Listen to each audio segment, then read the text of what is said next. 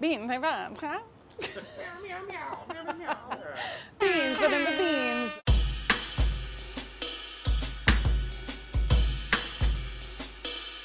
Hey guys, it's Carla. I'm here in the Bon Appetit Test Kitchen and I'm going to make the perfect pot of beans. Beans are one of those things that I get questions about all the time. How do you make them tender? How do you make them taste good?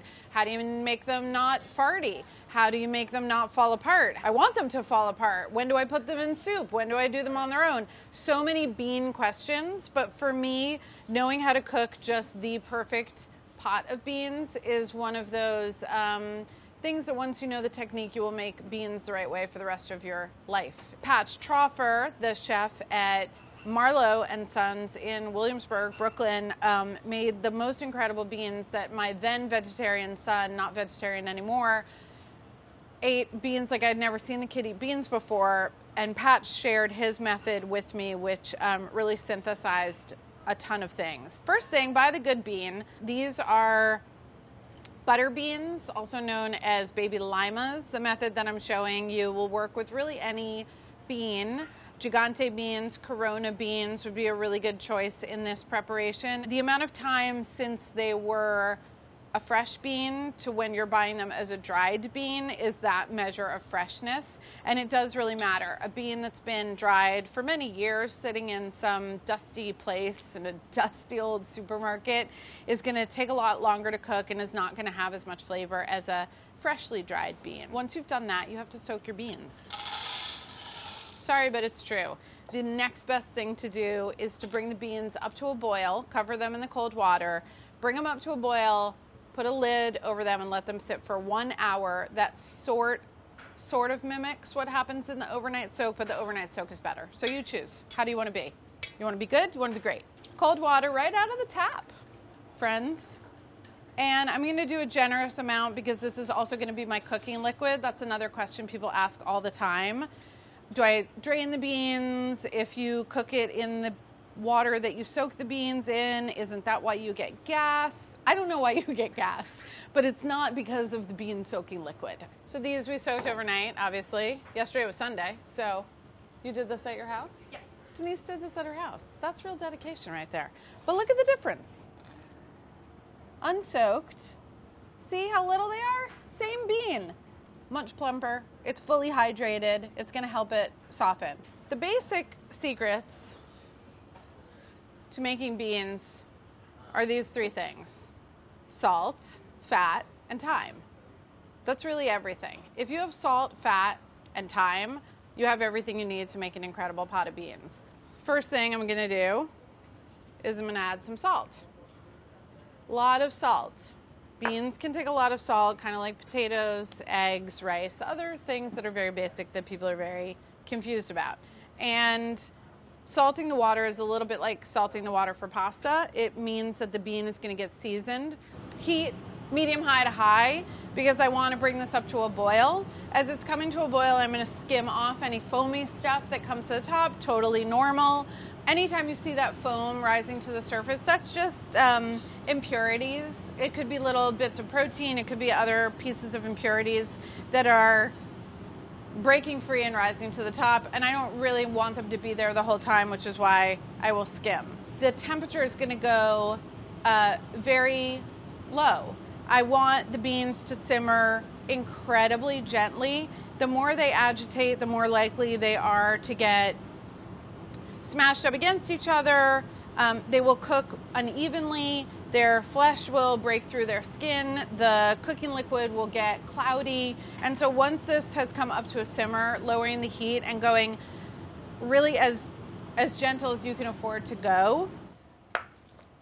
You can put as much or as little garlic as you want. I'm gonna smash and peel the garlic and then it's just gonna like be in there. The other thing that Patch taught me when I emailed him and begged him to tell me what the secret of his secret pot of beans was. He's salting at every step of the way.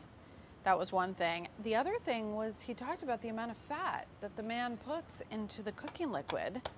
And he said an inch of a fat cap on top. He uses whatever good fat he's got. So olive oil, you want something that tastes good, right? Because if you're using that much, it's really becoming a flavoring agent of your bean. And then it's just gonna make the broth that you get at the end so much more incredible. But then he was like, whatever rendered fat you happen to have lying around. And for someone who is literally hoarding little jars of rendered fat all throughout my refrigerator, I mean, you just couldn't tell somebody better news. So in the optional category, we have garlic, lemon. Patch was like, oh, you know, when you have a charred lemon lying around, just throw that in. I was like, guess what? I never have a charred lemon lying around, but we're going to make a charred lemon. You could also just throw a whole lemon in. You could throw some lemon peel. And then herbs, fresh herbs, dry herbs, and spices. He likes um, coriander, fennel, and beans is really great together. You don't have to add those. I have oregano and mint today, so I'm going to put those in.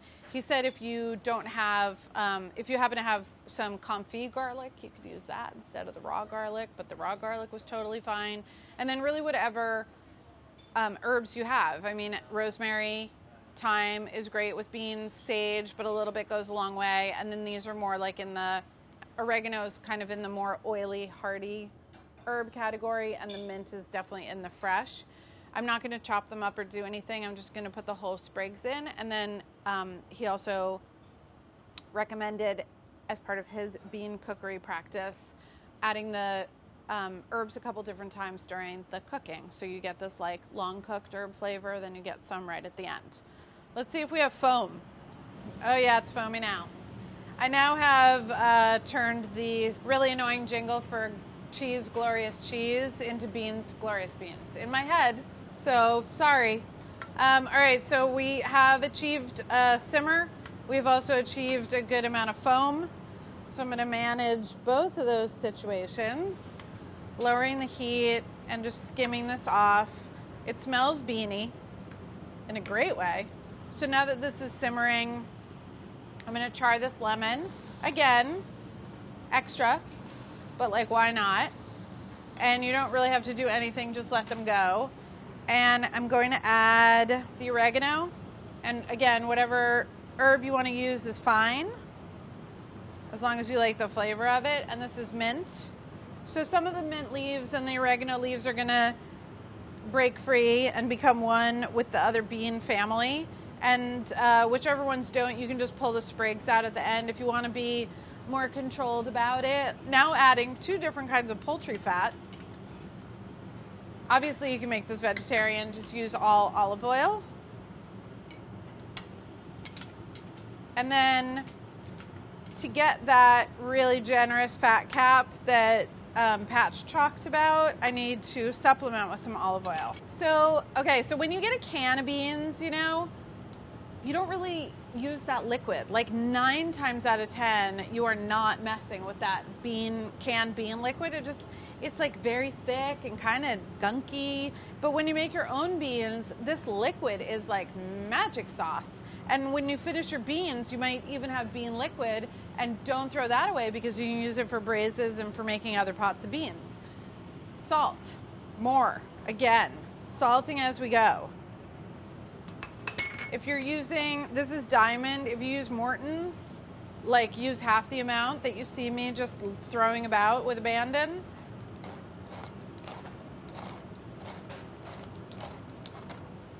Everyone who hates black pepper just went to a makeup tutorial. They're done. They're out of here.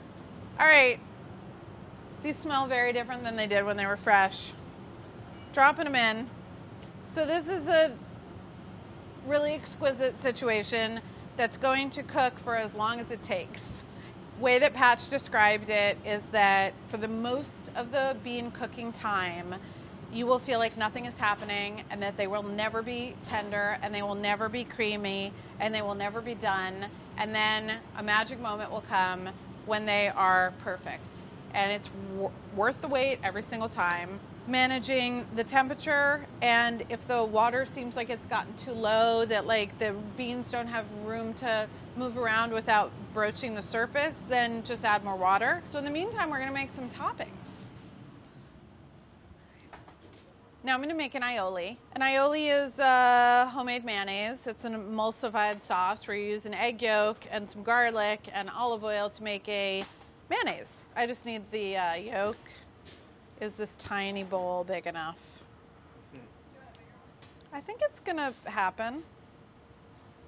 Yeah, save your whites for making souffle, whatever. Big pinch of salt. Okay. Here's our garlic. As if there wasn't enough garlic, you need the flavor of the raw garlic. You know what I mean? Sometimes aiolis have. Doesn't this one have lemon juice? No, splash of water. So the water is just going to help with the emulsifying. Sometimes aiolis have lemon juice. Sometimes they have um, mustard. Those are all good choices. You actually need a certain amount of available liquid for the fat to bind to. So sometimes people will put their lemon right in the beginning. The only trick with making aioli, if you haven't done it before, is that recipes are going to say add the oil drop by drop at first. And I know it sounds like an exaggeration, but you really have to go drop by drop. This is something you could make in a blender, but every time I make it in a blender, uh, I screw it up. So I always do them by hand. I'm also comfortable making aiolis, so maybe I went a little bit faster than drop by drop.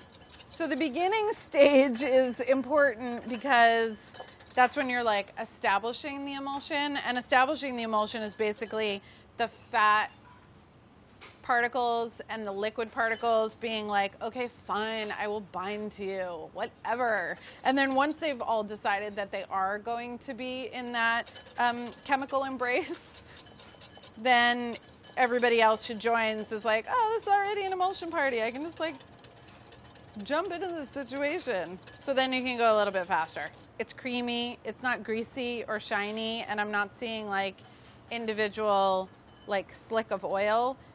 But if your emulsion breaks, which would be so funny if mine does, you can do it a couple different ways. You can start over with a little bit of water and like a dab of mustard if you're fairly um, comfortable, or you can start over with a fresh egg yolk and whisk the broken um, mixture into that egg yolk as though it were, um, as though you were adding the oil from the beginning.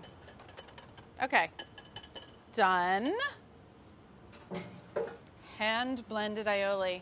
All right, aioli is done. I'm gonna keep that cold. That's gonna get spooned in at the end.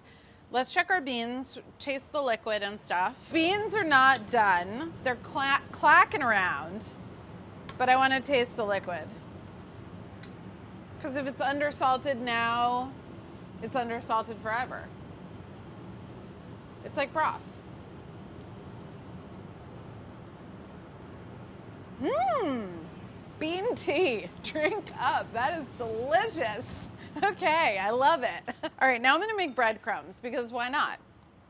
You would have stale bread lying around in your little cabin in the woods. I'm just going to tear it into kind of biggish pieces and then I'm going to throw it in the food processor. Okay. So again, you don't have to make breadcrumbs if you want to make beans. All you need is the fat and the salt and the beans and the water. And the time. And the time, T-I-M-E. Large skillet. A lot of different ways to make breadcrumbs. This is just one of them. Another way would be to maybe toss your bread with the oil and put it in the oven, but I'm gonna do it this way. Big pan, medium high heat. When the oil is hot, breadcrumbs are going in. While we're here, we can behold our beans. They're beautiful, so shiny. All right, oil is shimmering.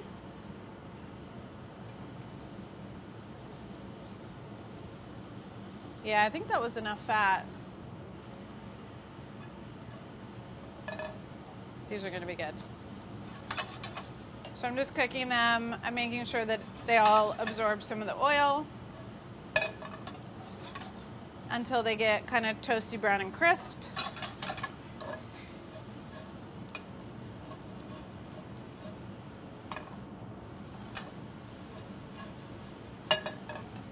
Why am I toasting breadcrumbs for beans? Um, texture is the answer. Just a little crunch.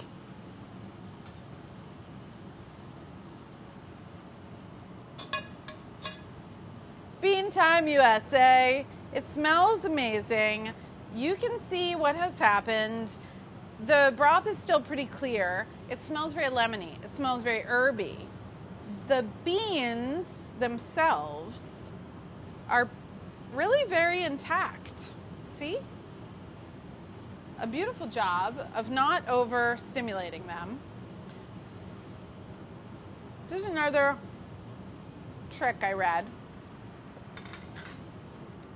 that when the bean skin like curls back like that, that that's how you know they're done.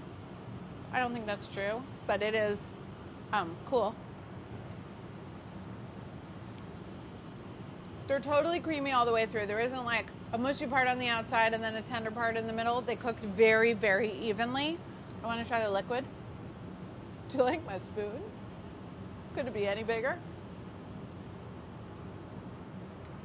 There's a little bit of, you taste that like a little bit from the charred lemon, like a little bit of bitterness.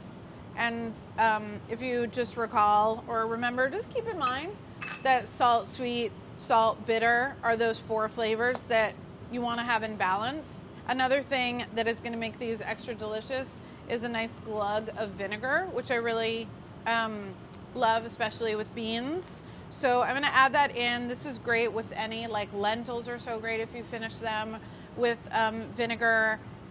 I'm really thinking of this as almost like we made a braise of the bean, and the beans have been braising in this liquid, and to really season the liquid itself.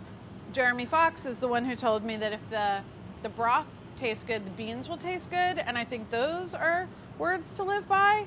So just a couple glugs. This is sherry vinegar. You could use red wine. You could use white wine, um, but that's really going to um, make these even more delicious. I wouldn't add it super early in the cook time because I don't want like cooked vinegar flavor. Pretty good. And then the other thing I'm going to do here at the last minute is add more of the same herbs that, that I used before. The mint and the oregano really is going to infuse infuse into the cooking liquid like tea. And I know it seems crazy, but they need more salt.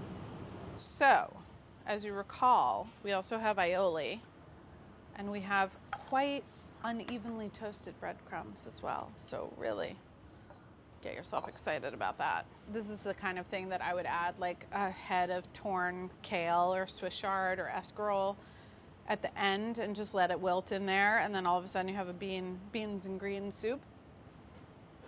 Mmm these things that you think might be beans are actually whole cloves of garlic. Very delicious. All right, got my aioli. Hmm, who wants to go on first? I'm gonna breadcrumb. No, I'm gonna aioli. gonna bread. I'm gonna aioli. So the idea with the aioli is that as you eat, the aioli is to infuse into the liquid in a very delicious way. So you'll get that fresh garlic flavor. And then the breadcrumbs are just texture. Fantastic. Mmm. Now I'm kind of in how messed up and different textures they are. Who cares? Little pepper. I love pepper. This I would happily eat for dinner. Mm. Just love to look at it. Droplets, there's crunchies, there's creamy beans, there's aioli. It looks really good. So, perfect pot of beans. Once again, from the top, salt, fat, and time. Buy a good bean. Treat it very nicely. I'm just gonna have a bite.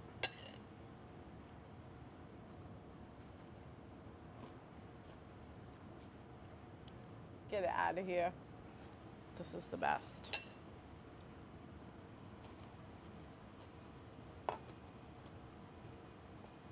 Stop. It's too good. It's really too good. I recommend everybody just make a perfect pot of beans. I could not be happier right now. I'm so pleased. Could everybody please leave so I could eat my beans? No, really, leave.